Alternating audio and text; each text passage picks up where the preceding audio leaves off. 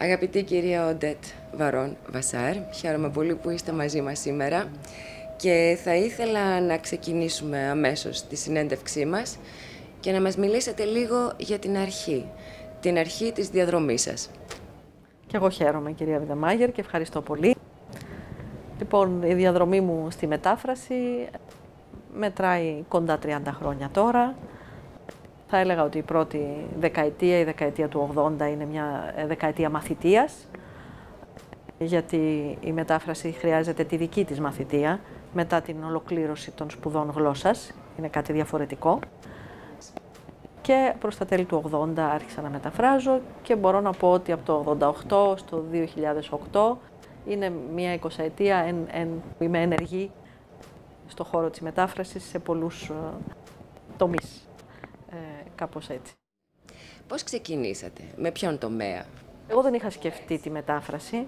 Όταν επέστρεψα από το μεταπτυχιακό μου στο Παρίσι το φθινόπωρο του 81, ένας πολύ αγαπημένος δάσκαλος ε, και φίλος πια, και φιλόλογος, δάσκαλός μου στο φροντιστήριο σε αρχαία ελληνικά και ειδικά σε Θουκυδίδη, στον οποίο τι κάναμε, μετάφραση. Τι, μαθαίναμε, τι μας μαθαίναμε να κάνουμε στο Θουκυδίδη. Εντάξει, πρώτα μας τον υπαγόρευε και, το, και γράφαμε, μετά όμως μεταφράζαμε. Λοιπόν, εκείνος ο Στέφανος ο Κουμανούδης, μια πολύ σημαντική προσωπικότητα, μετέφρασε Αριστοφάνη που τον αγαπούσε πάρα πολύ. Εγώ είχα παρακολουθήσει σε μικρές ομάδες διδασκαλία μετάφρασης Αριστοφάνη μαζί του. Μετά έφυγα από αυτά, έκανα τις σπουδές μου ιστορικό-αρχαιολογικό, έκανα στον Ελληνικό Ινστιτούτο μεταπτυχιακό στην νεότερη ιστορία, γιατί ιστορικός είναι οι βασικές μου σπουδές, είναι σπουδές ιστορικού. Εξάλλου και να ήθελες σπουδές μετάφρασης, το 80 δεν υπήρχαν. Αλλά η, η, η βασική μου ιδιότητα είναι η ιδιότητα του, του ιστορικού. Ε, γυρνώντας λοιπόν, ο Στέφανος ο Κουμανούδης μου πρότεινε να συνεργαστώ μαζί του σε μια μετάφραση. Ήταν πολύ ξεκάθαρη η συνεργασία. Μου είπε θα κάνεις το πρώτο χέρι, θα κάνουμε μαζί την επιμέλεια και θα βγει φυσικά με το όνομά μου. Γιατί εμένα εμπιστεύεται ο εκδότης και θα έχεις και μια αμοιβή. Πάρα πολύ καλά και αρχίσαμε να κάνουμε Le Cave du Vatican, τα υπόγεια του Βατικανού του André Gide. Τότε για, το, για τις εκδόσεις Y του Θανάση του Χαρμάνη που δυστυχώς χάθηκε τόσο ξαφνικά και πρόσφατα. Ε, και ε, κάνουμε αυτή τη μετάφραση και αρχίζει να μου αρέσει πάρα πολύ αυτό. Δηλαδή, ειδικά ε, η, η, μία φορά τη βδομάδα που πάω σπίτι του, φυσικά με μαθαίνει να μεταφράζω με μολύβι, δεν υπάρχουν υπολογιστές, έτσι δεν υπάρχουν για μας ακόμη το 81-82. Με μαθαίνει να μεταφράζω με μολύβι γιατί πάντα σβήνουμε. Ε, και η, η φάση που συνεργαζόμαστε μαζί και σβήνουμε και διορθώνουμε και βλέπω τι αλλάζει, πώς αλλάζει και γιατί, ε, είναι, είναι μια μεγάλη μαθητεία, ας πούμε. Και κάνουμε έτσι τρία βιβλία με τον Στέφανο το Κουμανούδη. Μέχρι το 85-86 βγαίνει το τελευταίο. Και τα άλλα είναι υπερεαλισμός, είναι πολύ δύσκολα βιβλία. Είναι το Αρκάν 17 του Μπροτό, και είναι και το, το περί του ύφους, traité du style του Αραγκόν. Στο τρίτο μου λέει, θες να βγει με το όνομά σου; Λέω, όχι, δεν είναι ακόμα δική μου δουλειά. Θα, θα προλάβω εγώ. Και ήταν και η τελευταία μετάφραση που έβγαλε ο Στέφανος ο Κουμανούδης, γιατί μετά αρρώστησε ξαφνικά, άσχημα και χάθηκε το 87. Λοιπόν, ε, αυτό ευχαριστώ που μου δίνετε και την ευκαιρία να το πω, γιατί δεν το έχω ούτε πει ούτε γράψει. Και, και ήταν πραγματικά η πρώτη μου μαθητεία στη μετάφραση. Ε, ε, εγώ ήθελα αυτό το πράγμα να συνεχίσει για μένα και τότε έγινε το Κέντρο Λογοτεχνικής Μετάφρασης ε, στο Γαλλικό Ινστιτούτο. Το, το CTL, όπως το λέγαμε πάντα εμείς, Centre de Traduction Littéraire, ξεκίνησε το 86, εγώ πήγα το 87. Ε, και ήταν διετής η formation τότε, είχε πολύ λιγότερα από ό,τι απέκτησε στο δρόμο, επειδή πήγα πολύ στην αρχή. Είχαμε όμως ήδη την πρώτη χρονιά δάσκαλο τον Πέτρο τον Παπαδόπουλο, παλιό δάσκαλο του Γαλλικού Ινστιτούτου, παλαιά σκοπής. Και, και πολύ καλό παιδαγωγό και γλυκύτατο άνθρωπο. Οπότε εκείνος ήταν κάπως εισαγωγικό ε, μάθημα και τη δεύτερη χρονιά είχαμε το κοινό σεμινάριο τι του Πατρίκιου Παύλου Ζάνα. Αυτό ήταν κάτι πάρα πολύ ξεχωριστό όπως καταλαβαίνετε και πολύ, ε, μας πλούτησε πάρα πολύ. Ε, και ολοκληρώθηκε αυτός ο κύκλος τον Ιούνιο του 89, 88-89 και προς τον Νοέμβριο του 89 πήραμε τα πτυχία μας και, και μας τα έδωσε ο Παύλος Ζάνας και λίγο μετά έπαθε έμφραγμα και χάθηκε τόσο νέος που ήταν ένα πολύ μεγάλο σοκ για όλο το χώρο. Ε, ήδη είχαν σημαδευτεί με απόλυες δασκάλων η, η μαθητεία.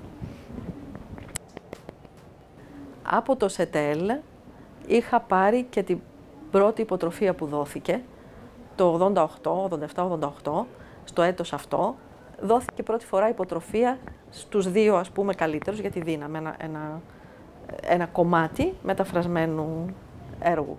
Στο τέλος αυτά κρίνονταν. Τότε πήραμε λοιπόν τις υποτροφίες, ο Γιώργος ο Ξενάριος και εγώ. Ε, και μπορούσαμε με αυτές να πάμε στην Άρλε, που μόλις και εκεί, γιατί μόλις και εκεί αρχίζαν τα πράγματα γύρω από τη μετάφραση, λίγα χρόνια είχε γίνει το Collège de Traducteurs, το οποίο δεν ήταν στο κτίριο που είναι σήμερα με τα 10 δωμάτια, είχε μόλις τρία δωμάτια. Και η Άρλη είναι στο νότο-νότο της Γαλλίας, μια πολύ μικρή πόλη. Εγώ πήγα ε, Νοέμβριο-Δεκέμβριο, ε, γιατί ήθελα να παρακολουθήσω το, το, το colloque de traducteurs. Είχαν, Assise, Assise de traducteurs το λέγανε. Είχαν ξεκινήσει λοιπόν, δεν ήταν πολλά χρόνια και αυτό που γινότανε, τρίτη, τέταρτη χρονιά, ε, είχαν ξεκινήσει κάθε Νοέμβριο ένα μεγάλο συνέδριο μεταφραστών. Γα, Γάλλων μεταφραστών και γαλλόφωνων. Ε, και ήθελα πολύ να το παρακολουθήσω. Και πραγματικά ήταν πολύ μεγάλη εμπειρία αυτή. Μετά άρχισα να παίρνω τα πρακτικά τους ε, κάθε χρόνο. Άρχισα να βλέπω τον τρόπο που οι μεταφραστές μιλάνε για το έργο τους. Να γίνονται τάμπλογον γύρω από συγγραφείς κτλ. κτλ ε, άρχισε να διευρύνεται η, η, μετάφραση στο, ε, στις εμπειρίες μου, ας πούμε. Ε, και ξαναπήγα στο, στο κολέζ δύο φορές, το 90 και το 92. Εκεί δεν είχες μαθήματα. Αν πήγαινες σε άλλη εποχή, δεν είχες μαθήματα. Δηλαδή ήταν για επαγγελματίες μεταφραστές. Έπρεπε να έχεις συμβόλαιο και, και καθόσουνα στο περιβάλλον της Γαλλίας όμως, αφού μετέφραζες γαλλικά και μετέφραζες εκεί το βιβλίο σου. Ε, οπότε συναντιόμασταν με μεταφραστές γαλλικής λογοτεχνίας. Εγώ γνώρισα από τη Ρωσία, από τη Λετωνία, ε, από τη Ρωσία το μεγάλο μεταφραστή, το Μάρκοβιτς του Ντοστογεύσκη, ε, από τη Λετωνία, την Εσθονία, τη Βουλγαρία. Ανθρώπους από τις ανατολικές χώρες που δεν είχαν τρόπο να ταξιδέψουν τότε και ήταν αυτό ένας τρόπος να ταξιδέψουν. Ήταν πο, πολλαπλές οι εμπειρίες. Ε, τις, βάζω, ε, τις βάζω μες στη μαθητεία και αυτές και σε μια εποχή τελείως διαφορετική από τη σημερινή. Ναι, χωρίς διαδίκτυο, ε, χωρίς να κινούμαστε τόσο εύκολα, ε, χωρίς να έρχονται τόσοι άνθρωποι εδώ, χωρίς να κινούμαστε τόσο εύκολα. Ε, ήθελες ένα βιβλίο, πρώτο παραγγείλεις, ο Κάουφμαν έκανε 45 μέρες να φέρει ένα βιβλίο. Πώς από ιστορικός ε, σε τραβάει αυτή η διαδικασία και ασχολείσαι τόσο έντονα με τη μαθητεία, όπως την ονομάζεις. Γιατί όλα αυτά με ελκύουν πάρα πολύ. Εγώ το 88 ξεκινάω τη διατριβή μου και θα έπρεπε, αν, ήθελα, αν ήμουν άνθρωπος που είχε περπατήσει ένα μονοπάτι, θα έπρεπε να έχω επικεντρωθεί στη διατριβή μου. Αλλά τα περπάτησα παράλληλα αυτά τα δύο μονοπάτια μέχρι το 2008. Εκεί είπα στο που δεν μπορώ άλλο παράλληλα. Αλλά μέχρι εκεί τα περπάτησα παράλληλα. Ε, ε, αυτό δεν, δεν φτιάχνει ε, μια καριέρα. Ε, υπάρχει και μια γαλλική, γαλλική έκφραση που λέει δεν έκανα καριέρα, έκανα όμως μια ζωή. και εντάξει, μου αρέσει αυτή η έκφραση. Πάρα πολύ ωραία. και ε, με... Ναι. Μετά, λοιπόν, εξάλλου, υπήρχε και μια γέφυρα και από την ιστορία προς τη μετάφραση. Γιατί όλοι ε, οι, οι νέοι ιστορικοί που έχουμε γυρίσει από τη Γαλλία και οι περισσότεροι τότε από τη Γαλλία γυρνάμε, η αγγλοφωνία θα έρθει ε, ε, από το 99-2000 και μετά, η, η γενιά των νεότερων. Εμείς είμαστε όλοι γαλλόφωνοι ακόμη, ε, γύρω από τον κύκλο του Ελληνικού Ινστιτούτου κτλ. κτλ στη Σορβόνη. Ε, γυρνάμε και, και θέλουμε να μεταφράσουμε τα, τα μεγάλα γαλλικά κείμενα, τα οποία δεν υπάρχουν. Δεν υπάρχει ο Μπροντέλ. Ε, βέβαια, ε, ακόμη δεν είμαστε, ε, επειδή είμαστε μια εταιρεία, ο Μνήμονας, εταιρεία μελέτης νέου ελληνισμού, μπορούμε να κάνουμε άρθρα, μικρά άρθρα και ξεκινάω παράλληλα κάνοντας και βγάζω τα πρώτα άρθρα του Μπροντέλ. Βγάζω τη μακρά διάρκεια, τη long durée που είναι ιδρυτικό άρθρο ε, τη σχολή των Ανάλ του Μπροντέλ και τη βγάζουμε στο μνήμονα. Και μετά βγάζουμε και του Ντουμπί, ε, του μεσονολόγου, του εκπληκτικού άρθρα επίσης. Ε, αυτό δίνει, κάνει μια γέφυρα από την ιστορία προς τη μετάφραση. Και τότε οι περισσότεροι από εμάς αυτό το κάνανε και μεταφράσανε ίσως και ένα ή δύο βιβλία ιστορικά. Οπότε υπάρχουν πάρα πολλοί, δηλαδή στο βιογραφικό όλων των ιστορικών της γενιάς μου υπάρχει οπωσδήποτε μια μικρή εμπλοκή με τη μετάφραση γιατί θέλαμε να φέρουμε αυτά τα κείμενα. Μετά από αυτά τα πρώτα άρθρα, πώς γίνεται και περνάτε στη λογοτεχνία, στη λογοτεχνική μετάφραση; Λοιπόν, μόλις τελειώνουμε το ΣΕΤΕΛ, ε, όλοι θέλουμε πια να κάνουμε λογοτεχνία, γιατί λογοτεχνία έχουμε διδαχθεί ε, δύο χρόνια εκεί. Ε, και το πρώτο ήρθε ένας μικρός εκδότης τότε, το Ρόπτρο, το οποίο ξεκίναγε και ήρθε, ήρθε στο ΣΕΤΕΛ ε, φέρνοντας προτάσεις για, για βιβλία. Αυτά τα βιβλία ήθελε να μεταφράσει στη σειρά του και ήθελε να τα δώσει στους πρώτους απόφοιτους. Ε, ε, τα βάζανε στον κλήρο τα βιβλία. Ε, Ποιος θα πάρει τι. Εγώ είπα δεν θέλω να μπω στον κλήρο γιατί υπάρχει ένας φλομπέρ. Εγώ θέλω το φλομπέρ. Λοιπόν, ε, πήραν όλοι και εγώ πήρα μια νουβέλα νεανική του Φλομπέρ που λέγεται Νοέμβριος.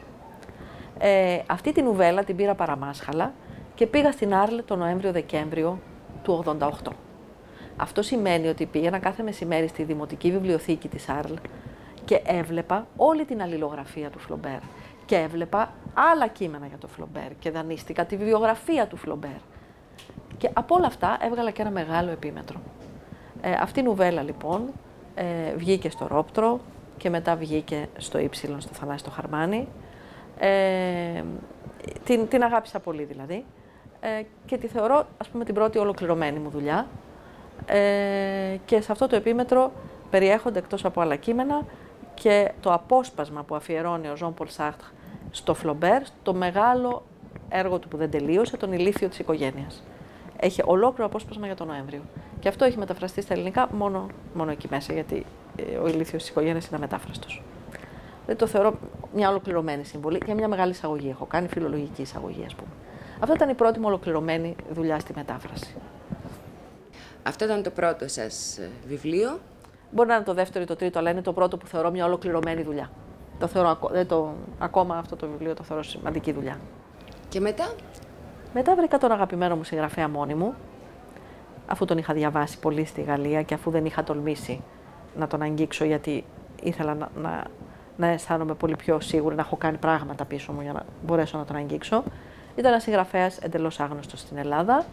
Όλοι στη Γαλλία λέγανε Είναι δυνατόν, δεν έχετε μεταφράσει τον Αλμπέρ Κοέν. Και μου το λέγανε γιατί είναι γεννημένος στην Κέρκυρα ο Αλμπέρ Κοέν, όπου έζησε μέχρι πέντε χρονών. Και η οικογένειά του μετανάστευσε το 1900 στην Μασαλία.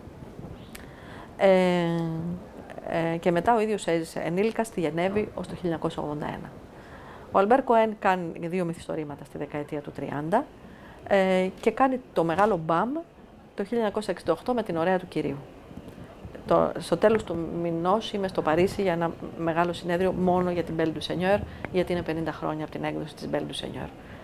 Έκανε τότε πολύ μεγάλο πάταγο. Αυτός ο συγγραφέας πήρε το βραβείο της Ακαδημίας η Belle du Seigneur. Αυτός ο συγγραφέας εβραϊκής ε, ελληνικής καταγωγής από την Κέρκυρα ε, ήταν τελείως αμετάφραστος και δεν ενδιαφέρε κανέναν. Εγώ ήθελα τρομερά να τον κάνω ε, και στο επόμενο σεζούρ στην Άλ το 1990 πήρα μαζί μου το Σολάλ. Χωρίς συμβόλαιο, χωρίς τίποτα. Πράγματα δηλαδή που δεν γίνονται και δεν τα συμβουλεύω σε κανέναν. Αλλά τότε εμείς είχαμε έναν τρόπο να προχωράμε τα πράγματα και, και κάπως μερικά τα πετυχαίναμε. Τέλος πάντων, ε, ξεκίνησα έτσι το, να μεταφράζω το Σολάλ. Εμένα με ενδιαφέραν τα δύο μυθιστορήματα της δεκαετίας του 30. Ο Σολάλ και ο Μοσκλού ε, που τον μετέφρασα καρφοχάφτη. Ε, και αυτά κατάφερα μετά ε, να βγούνε το πρώτο στη Χατζηνικολή, το δεύτερο στον Ιριδανό. Ε, με το δεύτερο που βγαίνει στον Ιριδανό εγκαινιάζεται και η συνεργασία μου με τη Μαρία Παπαδήμα, που είναι τότε σύμβουλος στον Ιριδανό. Και μόλις της λέω θέλω αυτό να κάνω, καταλαβαίνει αμέσως πολύ καλά και μου λέει βεβαίως θα κάνουμε αυτό. Ε, την οποία μετά συνεργαστήκαμε πολύ. Ε, και αυτά τα βιβλία είχαν μικρή πρόσληψη, θεωρώ, στην Ελλάδα.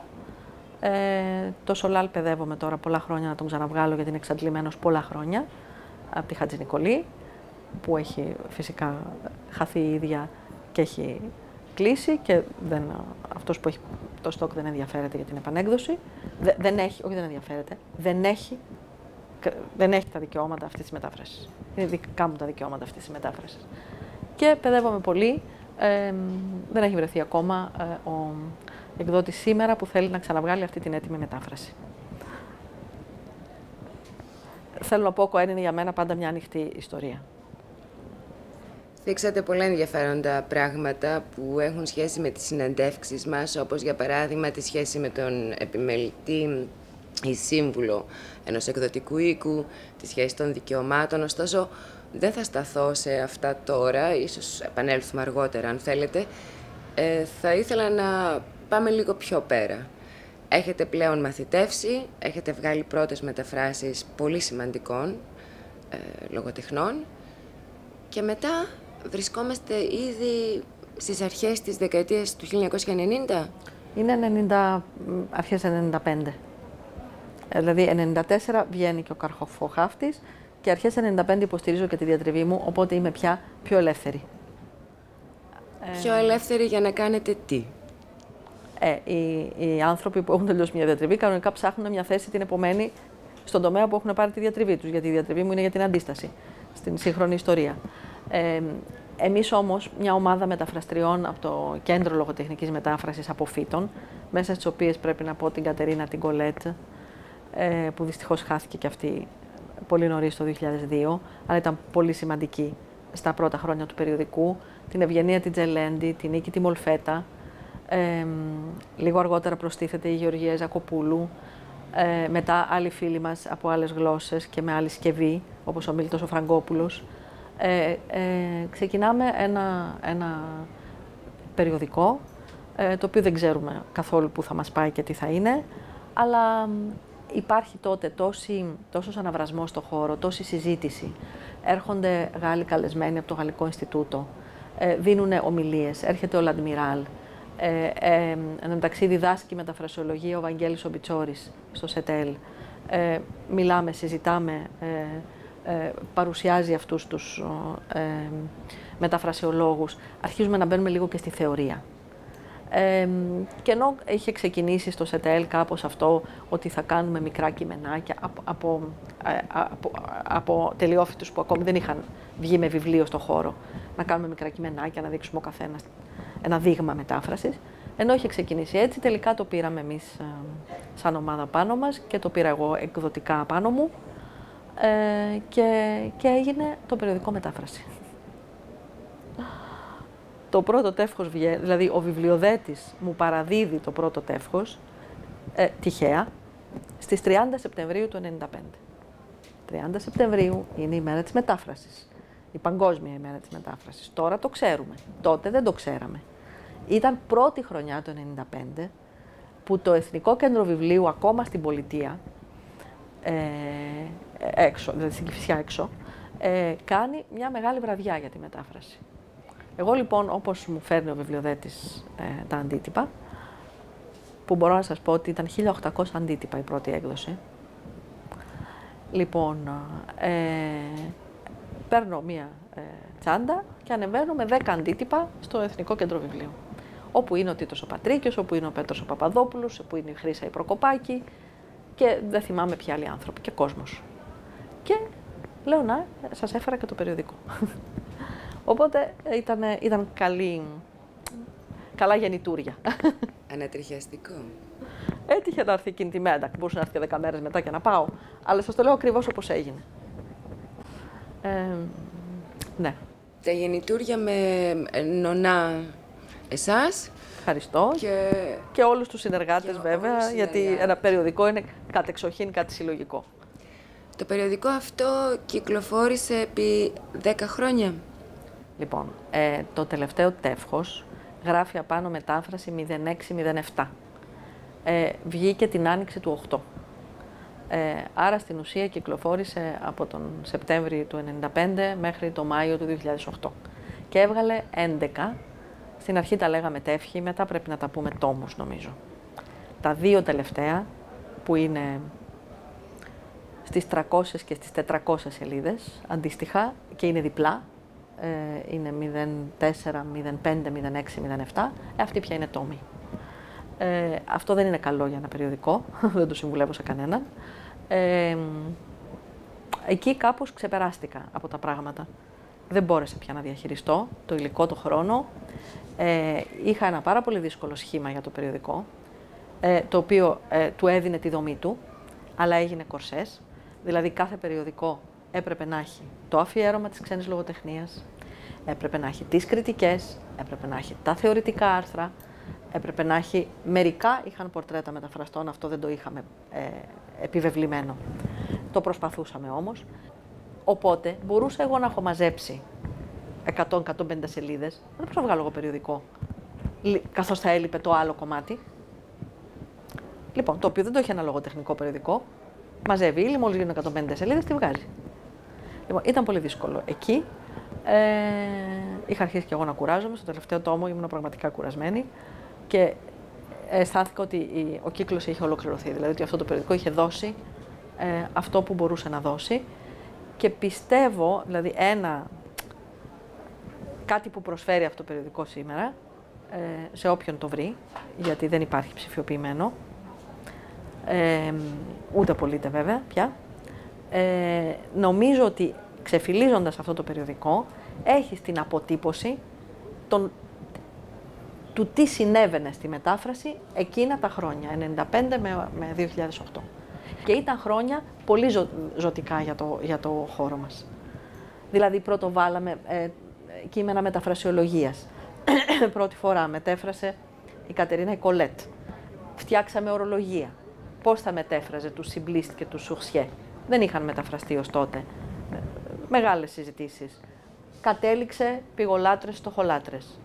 Νομίζω ότι έχει υιοθετηθεί στην αντίστοιχη. Αυτό βρέθη, έπρεπε να βρεθεί τότε. Ε, μετέφρασε ο Βαγγέλης Ομπιτσόρης. Βάλαμε παλιά μεγάλα κείμενα όπως ε, το χρέος του μεταφραστή του Βάλτερ Μπένιαμιν. Ε, ή Λατάς του Τραντουκτόρ, ε, δεν θυμάμαι. Τι Aufgabe. Ναι, αυτό. Δεν θυμάμαι ο Γιώργος Σαγκριώτης τελικά, η αποστολή του μεταφραστή. Η αποστολή. Νομίζω ε, ο Γιώργος Σαγκριώτης που ξαναδούλεψε την παλιά του μετάφραση που υπήρχε στο πλανόδιο, και εγώ ζήτησα την άδεια από τον Γιάννη Πατήλη του Πλανόδιου, γιατί του είπα αυτό το κείμενο χρειάζεται να είναι στο περιοδικό μας. Και μου είπε βεβαίως και τα λοιπά. Το ξαναδούλεψε ο Γιώργος ο Σαγκριώτης και το βάλαμε. Ε, θέλω να πω, αυτά βρίσκονται μαζεμένα σε αυτούς τους τόμους. Είναι λοιπόν μια πρώτη δόση μεταφρασιολογίας. Ε, ε, η Σεσίλ Ιγκλέση Μαριέλου ε, είχε μεταφράσει, επίσης μεταφρασιολογικά κείμενα και αυτό, ε, αυτό ξεκίνησε με ένα άρθρο και ανέβαινε όσο περνούσαν τα χρόνια. Γιατί η θεωρία μετάφρασης ε, κέρδιζε τότε στο χώρο μας. Θα ήθελα να ρωτήσω κάτι. Το περιοδικό και όλος ο κύκλος που εκδίδεται το περιοδικό είναι γαλλόφωνος. Ε, αυτό είναι επίσης πολύ σημαντικό.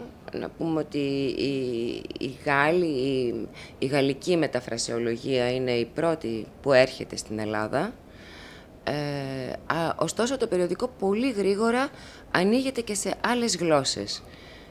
Πώς γίνεται, τι συμβαίνει; Ε, ήδη από το ε, δεύτερο τεύχος ε, γίνεται συνεργάτης μας ο David O'Connolly. Ακριβώς για θεωρία μετάφρασης. Ε, επειδή δεν έχω, ακριβώς επειδή δεν είμαστε το περιοδικό του ΣΕΤΕΛ ούτε του Ινστιτούτου, δεν έχουμε καμία δέσμευση ως προς αυτό. Γιατί τότε πρέπει να θυμίσουμε ότι τα χωριστά Ινστιτούτα δεν επικοινωνούσαν. Όχι ότι και σήμερα πολλοί επικοινωνούν, αλλά ε, όχι μόνο τα Ινστιτούτα, γενικά οι γλωσσικοί χώροι ήταν πολύ κλειστοί ο καθένας γύρω από τη δική του κουλτούρα. Ε, εμείς όμως, εφόσον ε, ε, ε, για το περιοδικό δόθηκε μια, μια, μια μικρή βοήθεια για να ξεκινήσουμε από το Γαλλικό Ινστιτούτο και τίποτα άλλο, δεν υπήρξε καμία δέσμευση ως προς αυτό. Λοιπόν, εγώ κατάλαβα αμέσως, δεν είχαμε κανένα λόγο. Ήμασταν ο πρώτος πυρήνας ε, μεταφράστριες ε, γαλλόφωνες από το ΣΕΤΕΛ, αλλά από το δεύτερο τεύχος στη Συντακτική Επιτροπή είναι ο Ντέιβιντ Οκόνολη για θεωρία μετάφρασης. Δηλαδή, αμέσως αναζήτησα ανθρώπους από άλλες γλώσσες ε, και για θεωρία και για μετάφραση από άλλες γλώσσες. Και γαλλικά, από γαλλική λογοτεχνία είναι μόνο τα δύο πρώτα αφιερώματα. Ήδη στο τρίτο τεύχος, το 1997, που το θεωρώ, μπορώ και να το δείξω, τυχαίνει να το έχω, ε, το 97, το τρίτο τεύχος, θεωρώ είναι το πρώτο που το περιοδικό έχει βρει τη φυσιογνωμία του. Ε, δηλαδή έχει, έχω φτιάξει, αυτό το λέω έχω γιατί εδώ είναι έχω. Αυτό το έφτιαχνα, ήταν το δικό μου κομμάτι. Ε, έχω φτιάξει λοιπόν σε αυτό μια δομή ε, την οποία προσπαθώ πια να κρατήσω σε όλα τα τεύχια. Αυτή η δομή που ήταν και τόσο ε, δύσκολο αίτημα μετά.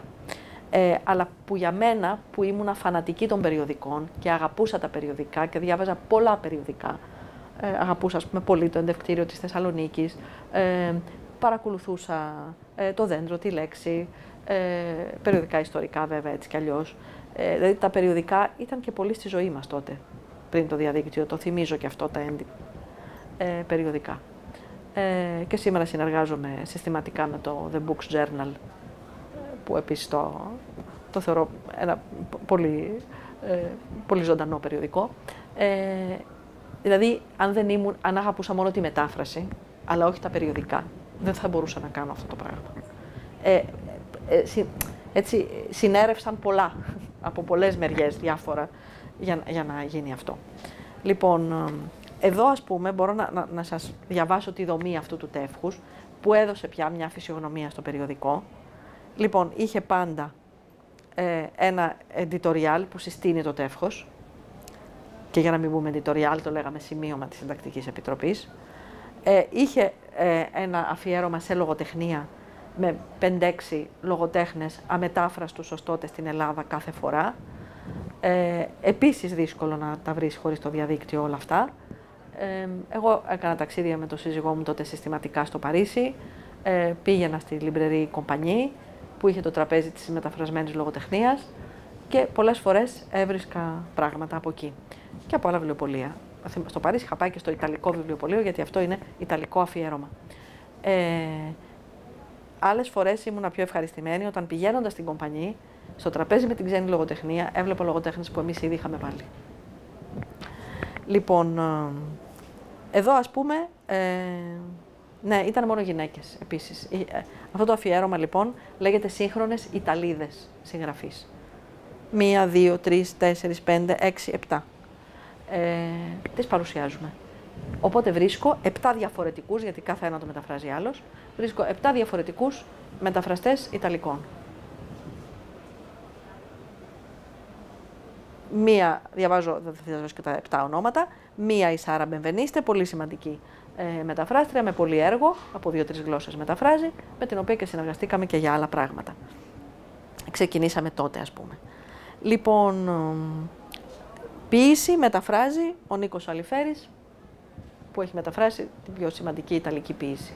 Λοιπόν, ήδη είμαστε σε επαφή ε, με αυτόν τον ε, χώρο. Ε, η, δεύτερη, η δεύτερη ενότητα είναι ποίηση, μόνο ποίηση, και έχουμε ήδη Πάουλ Τσέλαν.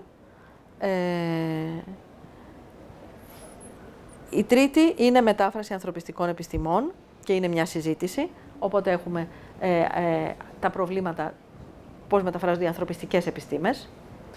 Και μετά είναι τα πορτρέτα μεταφραστών. Λοιπόν, και κάθε τεύχος, αυτό απαραίτητος, είχε οπωσδήποτε και άρθρα για, μετάφραση και κριτικές για με, βιβλία μεταφρασμένα που είχαν βγει. Αργότερα παρακολουθούσαμε και τα βραβευμένα από τα κρατικά βραβεία βιβλία κτλ.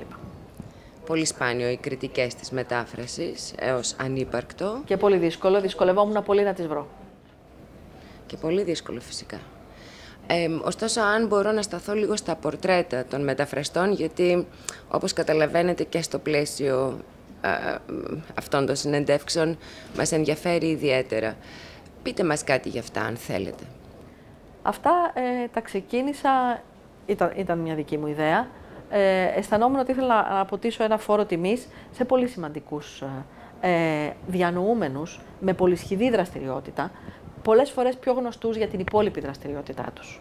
Και εγώ ήθελα να εντοπίσω μόνο τη μεταφραστική τους πτυχή. Ε, και ξεκίνησα με τον Άρη Αλεξάνδρου. Γνωστός ε, για το μοναδικό του μυθιστόρημα, το κυβότιο μυθιστόρημα ορόσημο στην ελληνική λογοτεχνία, ε, χωρίς να έχει δοθεί τόση σημασία στο έργο του το μεταφραστικό. Ε, κάπως ας πούμε σε βιογραφίες βλέπεις, στα βιογραφικά, όχι στη μεγάλη του βιογραφία βέβαια, από τον Δημήτρη Ραυτόπουλο, σε βιογραφικά βλέπεις ε, ε, μετέφρασε για να βιοποριστεί.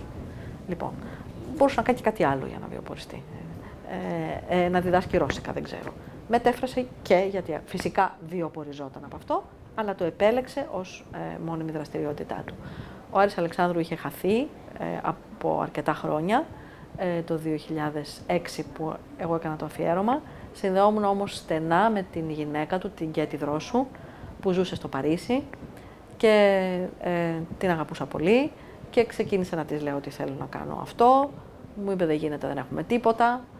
Λέω δεν μπορεί κάτι θα βρούμε. Ε, και τέλος πάντων σιγά σιγά ε, μου εμπιστεύτηκε διάφορα πράγματα, ε, κάποια υλικά. Ε, με έστειλε στο Δημήτρη τον Αυτόπουλο, μεγάλο μελετητή ε, του Αλεξάνδρου και του μεταφραστικού έργου του Αλεξάνδρου που μας έγραψε ένα εξαιρετικό κείμενο και μας έδωσε τη βιβλιογραφία, 80 τόσα έργα, ε, διάφορες γλώσσες κτλ.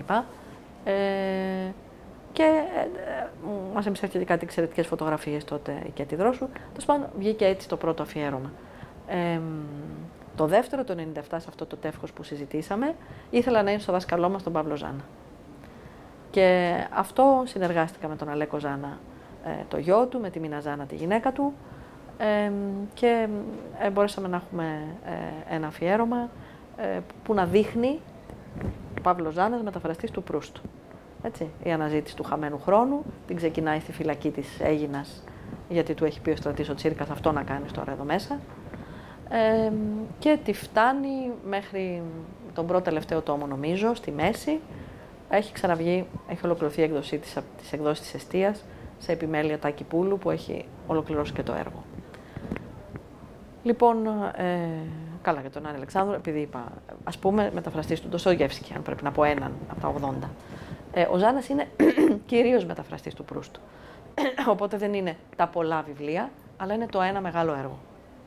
Ωστόσο, θυμάμαι και ένα άλλο πολύ σημαντικό πορτρέτο που θυμάμαι σαν ε, σήμερα να το διαβάζω και να το ξαναδιαβάζω ενός πολύ μεγάλου Έλληνα, του Μαρονίτη.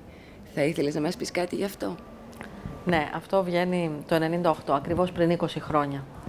Στο, στο τέταρτο πια τεύχος, που είναι ήδη τόμος της μετάφρασης, το τέταρτο πια, ε, ε, τότε ο Μαρονίτης μετέφραζε την Οδύσσια και έβγαινε από τον Καστανιώτη σε πολύ λεπτούς, ε, σε λεπτά τομίδια με μαύρο εξώφυλλο κάθε ραψοδία. Και είχε το αρχαίο ελληνικό και τη μετάφραση. Και εγώ πήγαινα και τα έπαιρνα ραψοδία, ραψοδία αυτά. Και είχα τρελαθεί από αυτό το πράγμα. Που, που ξαναδιάβαζα την Οδύσσια ύστερα από πάρα πολλά χρόνια. Το λέω έτσι γιατί σήμερα, 20 χρόνια μετά, ε, ο Μαρονίτης ολοκλήρωσε ένα τεράστιο μεταφραστικό έργο, όλη την Οδύσσια και όλη την Ιλιάδα και μιλήθηκε αυτό πάρα πολύ. Αλλά 20 χρόνια πριν δεν ήταν έτσι ακόμη. Τότε άρχι, έμπαινε σε αυτό που θα ε, ε, τον συνόδευε σχεδόν τα 15 τελευταία χρόνια της ζωής του και ήταν η μετάφραση της Οδυσσίας και της Ιλιάδας και κάποιων άλλων έργων. Λοιπόν, τον βρήκα σχεδόν στην αρχή αυτού του πράγματος. Γιατί εμένα ήδη αυτά τα τομίδια με είχαν ε, πολύ. Ε, ε, και μετά, όταν βγήκε ο τόμος, δεν έχει μέσα το αρχαίο. Άρα έχουν την αξία τους αυτοί οι πρώτοι. Λοιπόν, ε, έτρεμπα να τον πλησιάσω γιατί δεν, δεν τον είχα καθηγητή. Εγώ είχα σπουδάσει στην Αθήνα, ε, δεν με γνώριζε, ήταν ένα πολύ μεγάλο μέγεθος. Ε, Έγραψε όμως εκείνο στην επιφυλίδα του στο βήμα που διάβαζα κάθε Κυριακή. Ε, ε, όταν βγήκε η μετάφραση 97, έγραψε, έγραψε για το περιοδικό. Και ο Μαρονίτης έχει αντιληφθεί το περιοδικό. Δεν του το είχα στείλει. Λέω, ο Μαρονίτης έχει αντιληφθεί το περιοδικό.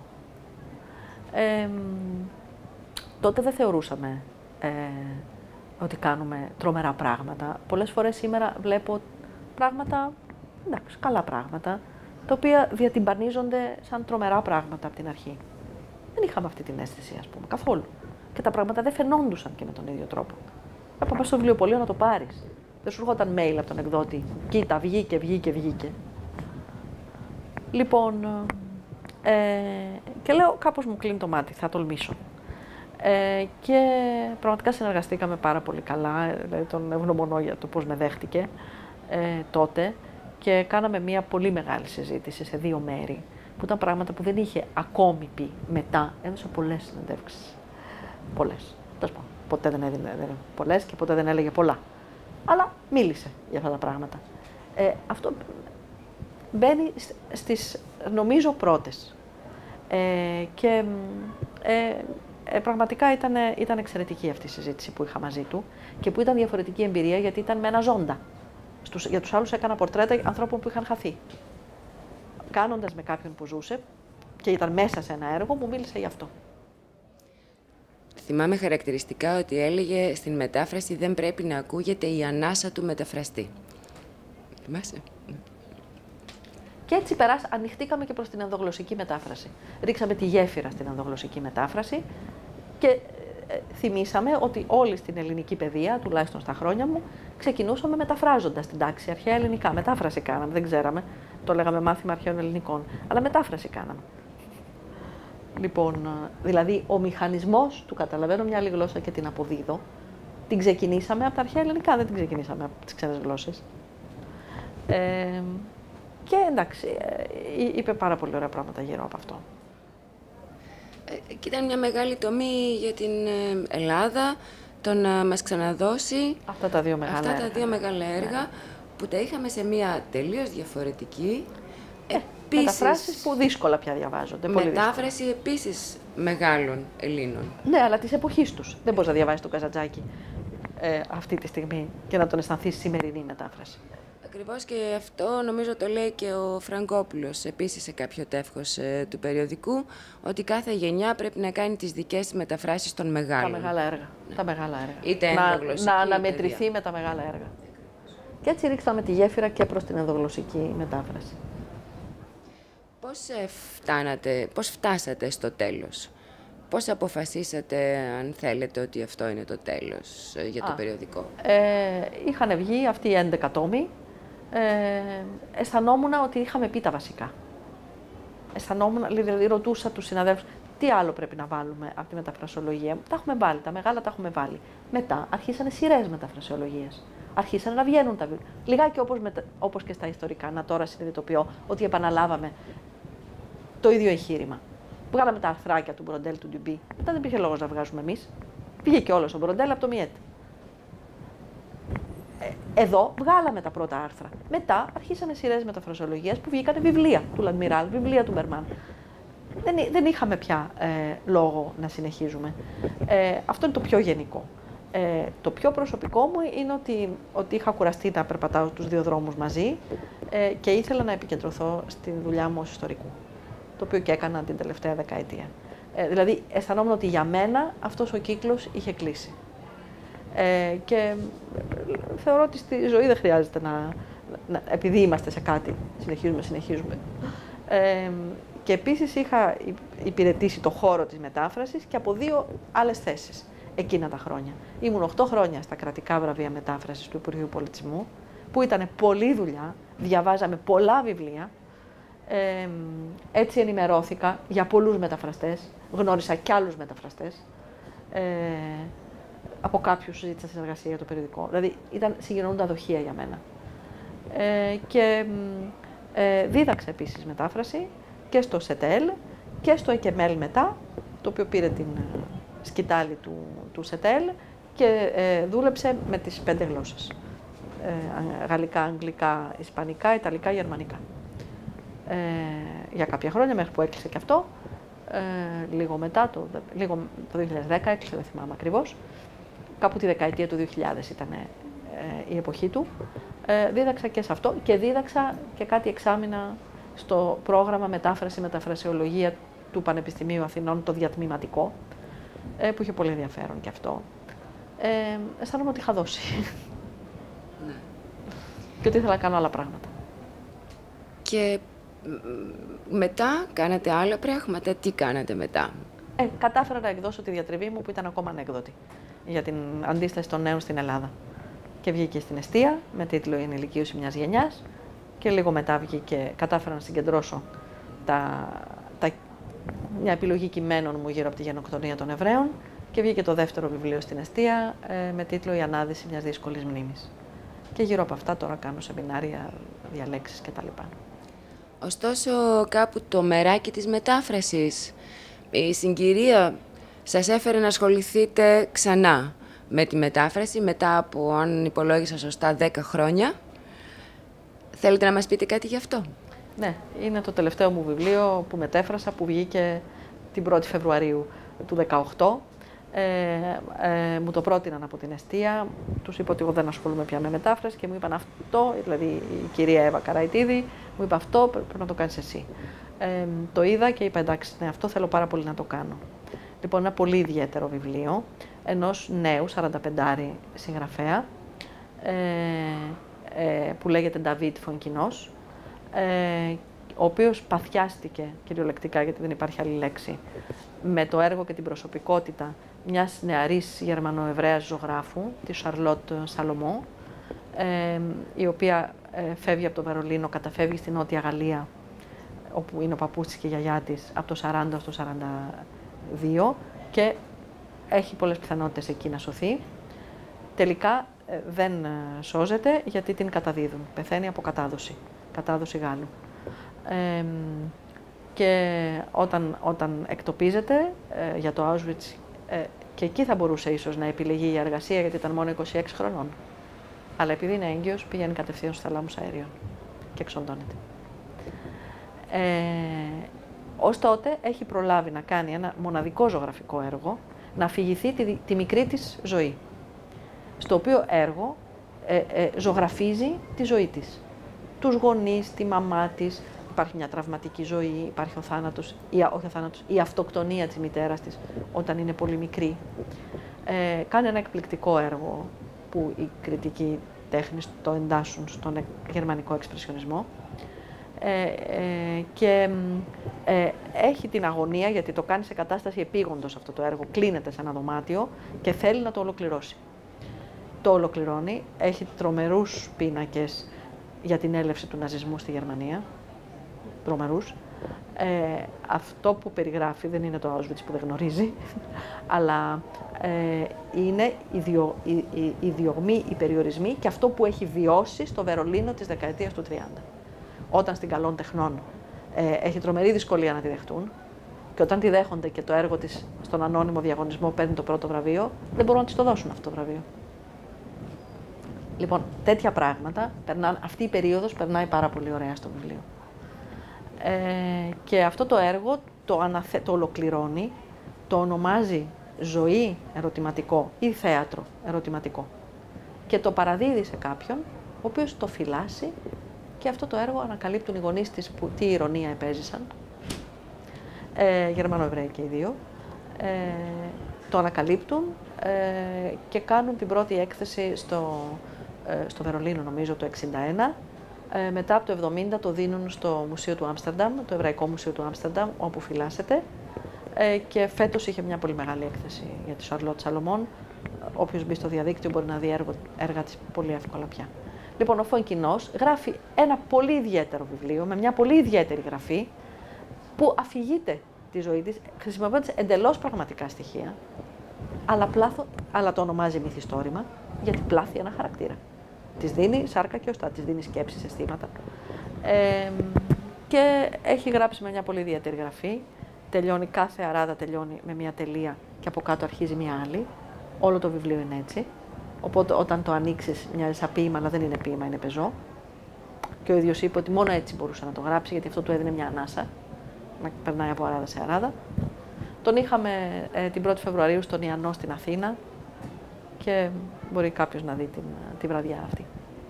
Όσον αφορά την ε, μετάφραση αυτού του βιβλίου, υπήρξε κάποια πρόκληση ιδιαίτερη που θα θέλατε να αναφέρετε, δηλαδή ήδη αυτό το σε μία αράδα, μία αράδα τη μεταφράζει σε μία αράδα. Εμείς δεν μπορούσαμε να μεταφράσουμε σε μία ράδα. Είδα και άλλες μεταφράσεις σε άλλες γλώσσες. Τι έχει μεταφραστεί σε 40 γλώσσες. Αν ναι, πρέπει να πω ότι αυτό το βιβλίο που λέει ότι δεν περίμενε να έχει απήχηση.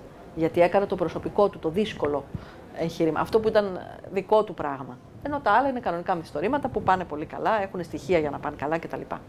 Αυτό δεν περίμενε να έχει απήχηση. Αυτό είναι το βιβλίο που τον καθιέρωσε. Πήρε βραβείο Γονοντό και πήρε βραβείο Goncourt de Lycée που σημαίνει των λυκειόπαιδων. Γιατί αυτό το βραβείο στη Γαλλία είναι πολύ σημαντικό. Γιατί έτσι χτίζεται η κουλτούρα και το αναγνωστικό κοινό. Λοιπόν, οι έφηβοι λοιπόν φαίνεται ότι ταυτίστηκαν με αυτήν την έφηβη Σαρλότ. Και ε, μετά μεταφρα... έχει μεταφραστεί, εμείς ήμασταν από τις τελευταίες μεταφράσεις. Ε, ε, λοιπόν, είδα και άλλες μεταφράσεις, καμία δεν κατάφερε, καμία γλώσσα και κανένα άλλο σχήμα δεν κατάφερε να μην γυρίζει. Αλλά γυρίσαμε την αράδα και μετά πήγαμε από κάτω, πήγαμε από κάτω, πήγαμε από κάτω. Ε, αυτό μπορούσαμε να κάνουμε, ναι. Μια ερώτηση ίσως ε, και τελευταία τουλάχιστον όσον αφορά όλα αυτά. Μεταφράζετε σήμερα διαφορετικά από ό,τι μεταφράζατε ας πούμε τον Φλομπέρ ή και αργότερα, παλιότερα; Ε, μεταφράζω διαφορετικά γιατί είναι διαφορετική η σχέση μου με τη γαλλική γλώσσα. Εν τω μεταξύ έζησα 24 χρόνια με τον Γάλλο σύζυγό μου και μιλούσα γαλλικά από την ώρα που ξυπνούσα το πρωί. Είναι, είναι η γλώσσα μου πια. Σκέφτομαι γαλλικά. Οπότε ανοίγοντας ένα γαλλικό βιβλίο, είναι πια ένα βιβλίο στη γλώσσα μου. Δεν είναι ένα βιβλίο σε ξένη γλώσσα.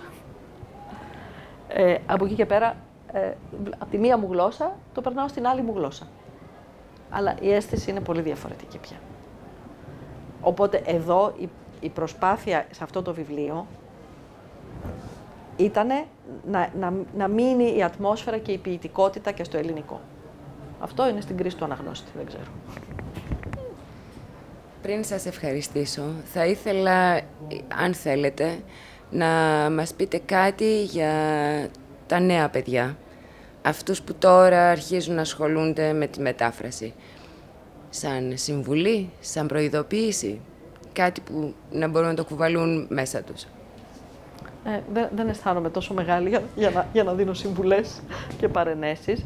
Απλώς ε, να μπορώ να πω ότι ήταν μια μια ενασχόληση και μια διαδρομή που με πλούτησε πάρα πολύ, που είδα να πλουτίζει τους συναδέλφους και τους φίλους γύρω. Δεν είναι τυχαίο ότι και οι συνάδελφοι και οι φίλοι, κάνοντας άλλα πράγματα, ε, πότε πότε ξανά κάτι μεταφράζουν. Ε, ακριβώς γιατί κάτι άλλο σου δίνει, κάτι ιδιαίτερο σου δίνει ε, αυτή η ενασχόληση. Ε, είναι, είναι μια πολύ ουσιαστική. Ε, ε νομίζω ότι πλουτίζει προσωπικά ε, τον άνθρωπο πάρα πολύ. Ε, από εκεί και πέρα πρέπει να μπορέσει να το εντάξει και στην επαγγελματική του ζωή και να δει πώς θα το... Ε, γιατί δεν, δεν είναι από μόνο του ένα επάγγελμα που προσφέρει αυτά που οφείλουν να προσφέρουν τα επαγγέλματα. Αγαπητή Οντέτ, σας ευχαριστούμε πολύ. Και εγώ σας ευχαριστώ σας πάρα ευχαριστούμε για τη συνέντευξη και σας ευχαριστούμε και για αυτά που προσφέρατε στο χώρο μας. Ευχαριστώ και εγώ πολύ.